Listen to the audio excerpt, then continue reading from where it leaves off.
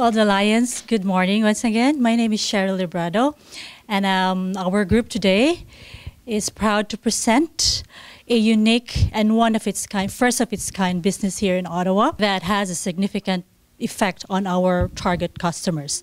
So we call our group the Executive Lunchbox. I am the CEO of the company, and with me, uh, our Chief Finance Officer is Sunil Munsinghi, and our Chief Marketing Officer is Rose Ainemi. So let me help you go through with this, with the current situation to help you understand what is our business all about. So Ottawa is the capital city of Canada. It is the home of the government's national capital region. And with that, uh, it houses around 90,000 office workers working in downtown alone. And it's these office workers, they are busy, they are always on the go, and most of the time, they don't have time to prepare lunch from home. And it's noted that 75% of them go out and buy lunch at random food stations, and they spend around an average of $14 up to $25 a meal for the day. And since they are working longer hours, lunch is a necessity for them.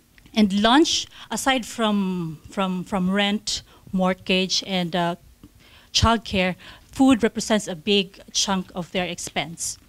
Please take a look at this picture. This one shows that this is the typical uh, choice of uh, food stations that workers go. They're not so fussy about high quality and they are cost conscious, budget wise, and they just want to have a satisfying and a decent meal for lunch. So, our company have come up with this brilliant solution. Um, we want to reduce the cost of their food expense, especially their lunch. From $300 spending in a month, we're going to reduce it 35%. So from 300, it's going to go, we're going to offer a product that is $200 per month or a savings of 1,200 in a year. We're going to offer complete lunch meal packs, delicious and satisfying.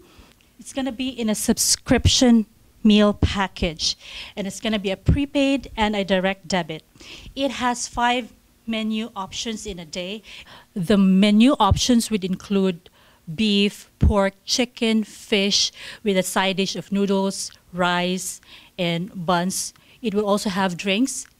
So we have these benefits to our customers. We offer convenience because it will be a prepaid, they don't have to pay all the time um, financial savings of 35%, and also there will be a guaranteed satisfying meal.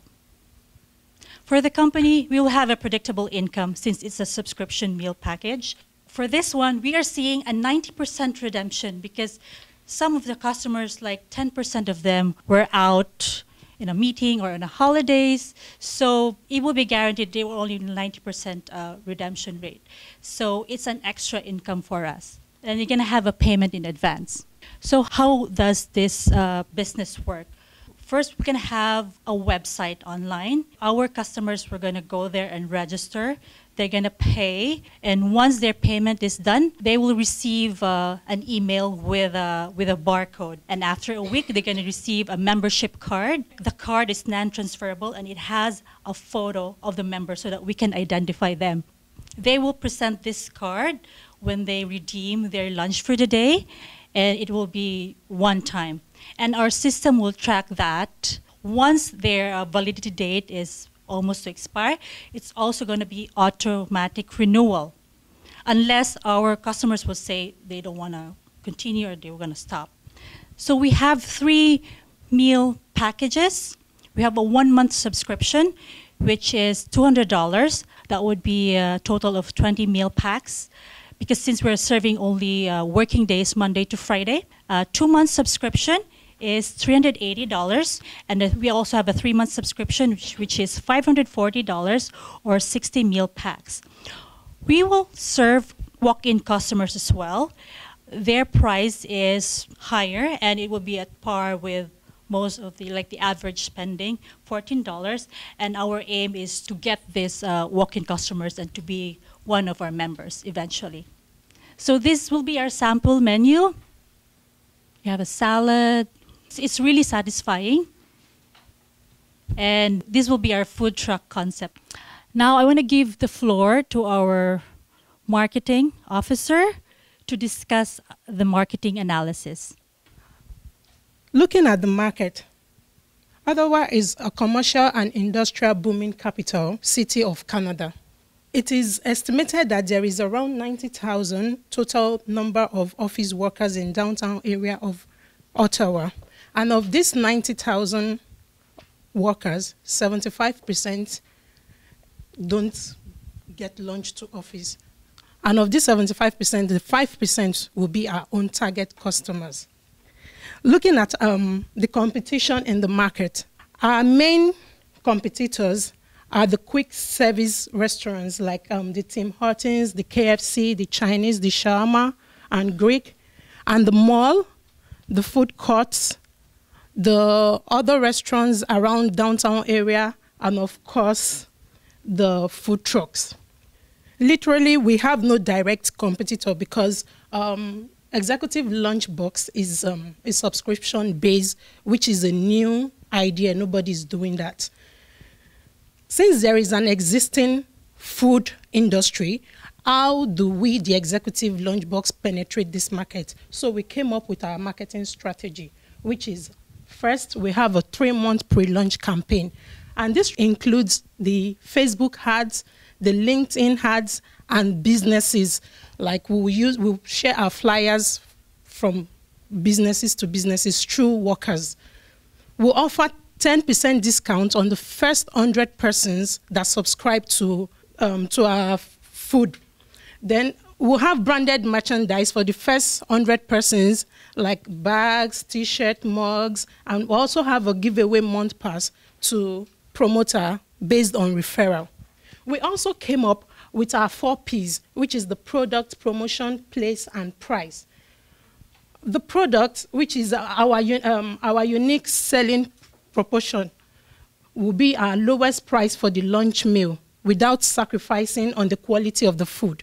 We are going to base our promotion on social media because most of most of the workers are found on their everybody has a Facebook account. So and every most of the workers also have LinkedIn account. So we are going to do an aggressive marketing on the social media. Then we are going to do the direct marketing like business to business, door to door. Also our website we are going to have a website where all our informations will be there. When they log in, they go in, they can read everything about us, our goals, our mission, and everything about Executive Lunchbox. The price, since we are based on subscriptions, we have no direct competitor.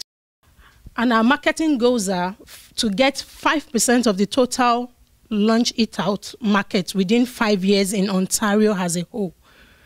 15% growth rate year on year, and also to make sure that our brand, the Executive lunch box, is the number one brand for the lunch customers. That anytime workers think lunch, they think Executive lunch box. Also, to have a high customer loyalty, satisfaction, and retention, and also to expand to other regions in Canada. I would like to call on Sunil, our CFO, to take you through our financial plans. I would like to start my financial with the startup cost of our business. So we have planned to incur $135,000 toward the startup cost, which is 75% uh, of the cost, which is 100,000 goes to the food truck and the refrigerator. Our next considerable part of the cost is for beginning inventory valuing $16,000 to start the process. When we talk about initial investment, our financial investment is $135,000, which is invested by all of our groups, founders. Each member is contributing $45,000 cash, and therefore each member entitled of 33% equal ownership of the business. When you talk about the revenue, our anticipated revenue for the first year is around $850,000, and the total quantity sold will be 3,200 units. The revenue figure shows that there's an increasing of the quantity sold every month, except the months of August and December, due to the fact that there will be a slight drop in summer, and the 20% sales drop is expected in Christmas season because most of the people is going away of the you know the Christmas season. So we are expecting 15 15% sales growth for the next two years. In summary, break-even means at the point when the total expenses equal the total revenue, at which point the business make neither a profit or no loss. In our analysis, break-even sales in dollar value is 470,898, which means when we hit this revenue figure, we are in break-even point. Therefore, after this point, the difference between the revenue and the total cost is our profit. According to our target sales, we will be able to achieve this in the seventh month of our operation. When it comes to break-even in units, when we make 1600 units of sale, we are in break-even. Our cash flow and balance sheet proved cash to be the most prominent asset, owing 214,000 at the end of the uh, end of cash balance at the uh, December 2020. 2020 projected income statement shows the sales revenue of $851,000, 524. Cost of goods sold is 350,561 and we have a good gross profit ratio which is 58% for the first year of operations. After deducting operational expenses, 253,580 net income will be achieved, which is fairly a good figure in the first year. We have a net profit margin of 30%, which is the average standard of, of in the food industry. Assuming 15% increase of our present operation, we will be able to reach 300,000 annual profit range in next two years. So now, this is why we, we, we are here, why our business exists, because our mission statement is to be the number one lunch provider in the location in which we operate. We do it by offering a good quality and satisfying food at a significantly lower price. We emphasize savings, value of money, and convenience to our customers. So to recap, the benefits that we offer to our customers is convenience, 35% uh, savings, and a guaranteed quality meal to satisfy their day. And for our company, um, we will have a predictable source of income. We will have a steady flow of customers, and our business is unique, and I believe it is profitable. Thank you.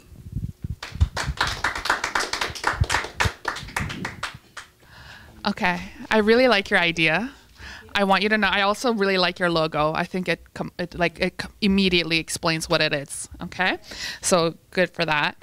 Um, I think one of the things that immediately stuck out for me was when you were listing the different types of food. You didn't mention you mentioned all the meats and no vegetarian option.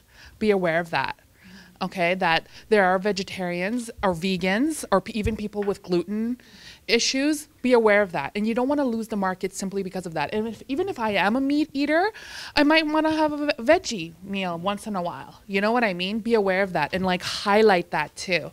I think um, your business is great because and one of the first things I wrote down is how are they going to compete with Uber Eats? With and I think the main thing that you need to consistently point out is that not only is it quality, but it's the healthier option. And you mentioned that when you showed the picture of the food court, you're like those companies that get those types of foods to me it's not it's not the healthy benefit it's not the healthier choice so you need to consistently point that out i think um, you said you have 10% discount. How long is that going to last? You said it's the first 100 um, customers, but how long is that going to go? Is it going to be forever? For the first six months of our production, we are going to use that to, to get customers so they can sign up and subscribe to our product. So I may I already buy boxed meals for home because I don't have enough time to actually cook when I get home. So I already have a food delivery service that comes to my house every week and drops off 20 meals for me so that I can eat when I get home. I immediately went to the Uber and Skip because um, we use it as a corporation. So I'm wondering why you're looking at not leveraging the kind of home delivery model within a corporate setting and saying, you know what, James, you own a business, you've got 22 employees. For a corporate subscription, I'm going to deliver 12 meals to your office so you can get productivity gains from your employee base for them not leaving to go to a food truck for an hour to get out of the space. So I'd love to get your thoughts and commentary around the, that corporate angle that perhaps can be exploited. And my other question is kind of a big one is who's cooking the food?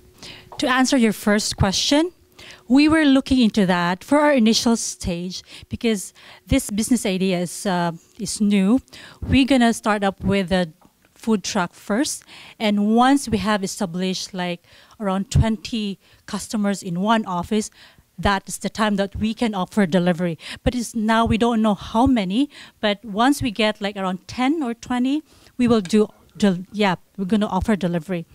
For your second question, we will have a chef. We will hire a chef that will make our food. We will have a separate, uh, we're going to rent a space that will be our production storage area. All right. As a follow up to this, um, I was looking at your startup costs, uh, 135,000 or so, um, uh, and looking at the breakdown, I think about only about 50,000 of that should be up upfront upfront costs.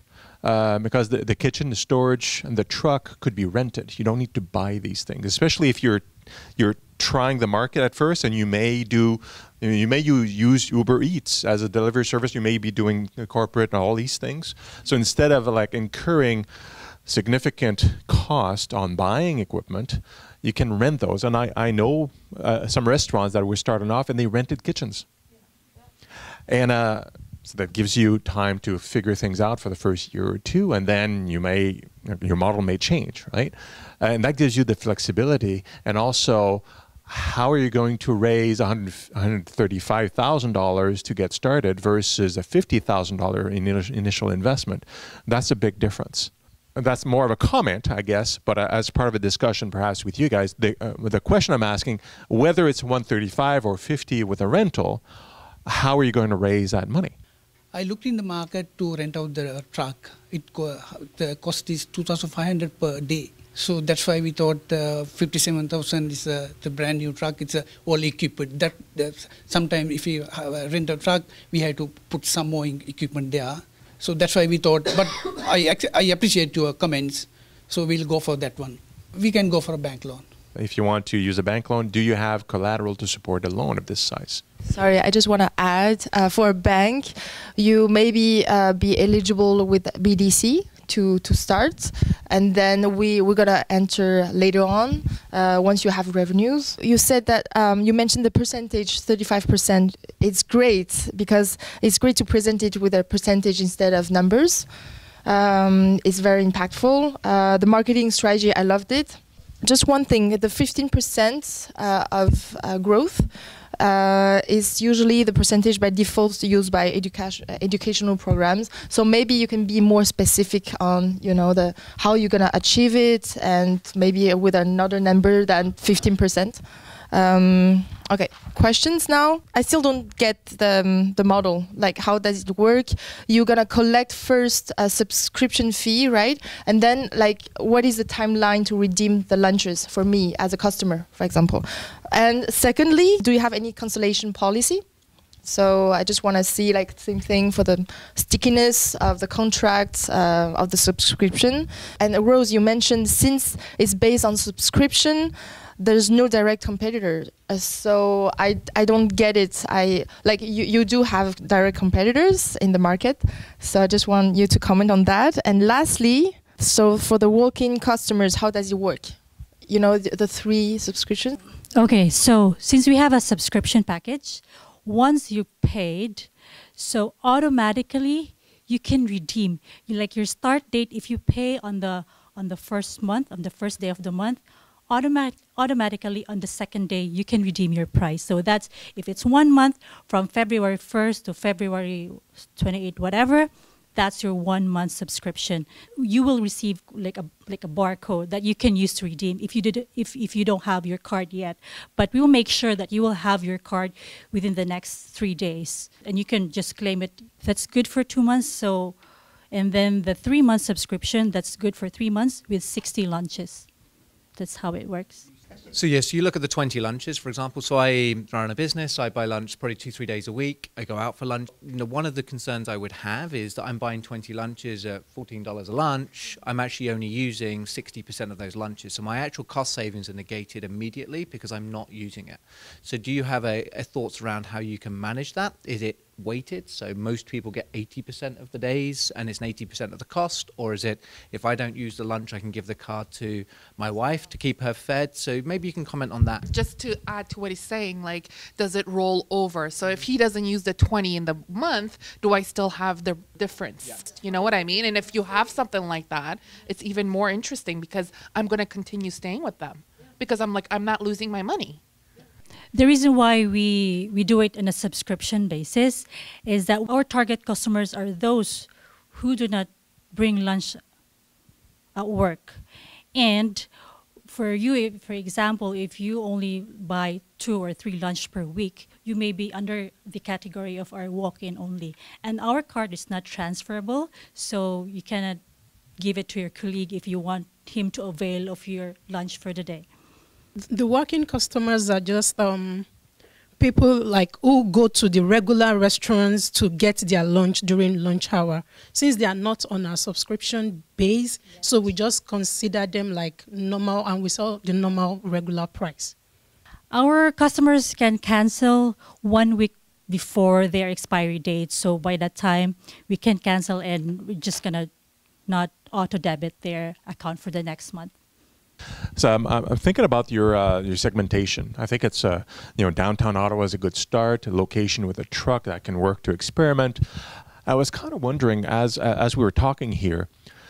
Uh, I'm not sure if the you know the, uh, the the cost saving of the of the meal is a real selling point.